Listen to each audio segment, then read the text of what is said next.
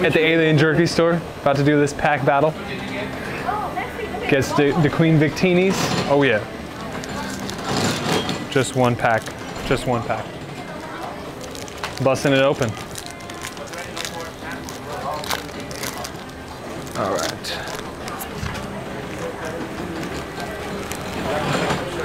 Guess the energy? Fire. Ah, it's electric. All right, we got Bouffalant, Charmeleon, Rhydon, Caterpie, Marill, Rhydon, Rhyhorn, Sandygast, Hoothoot, the reverse is a Meowth, and oh, we got a Darkrai GX, boys! That's pack one. On to pack two.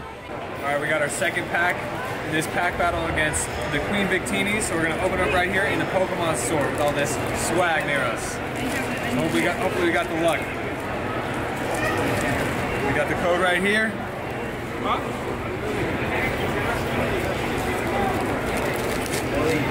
Okay, well, let's see what we got.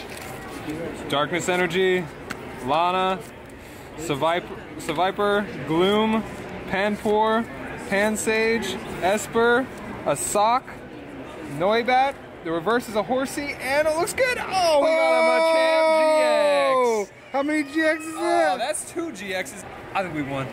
Hey, I think we won. Yeah, I think we won. We got this.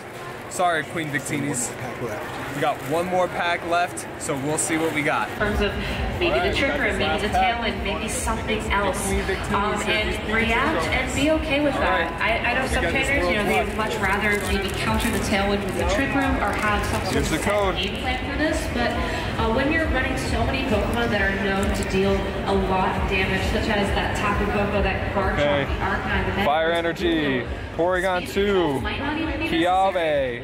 Kiawe, Olivia, Dynamo, Oddish, Duskull, Morlo, Caterpie, the reverse is a Charmander, and ooh, we got a centerfoil Dusknoir. We got it, we got it. Alright guys, thanks for watching this pack battle. On to the next round. Let's scoop it up. Thanks for following.